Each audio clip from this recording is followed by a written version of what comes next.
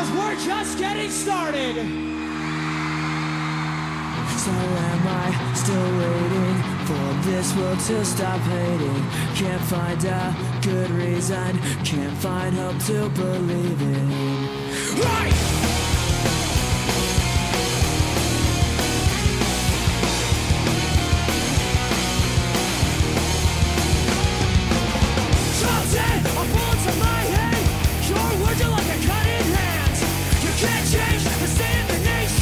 we just need These eyes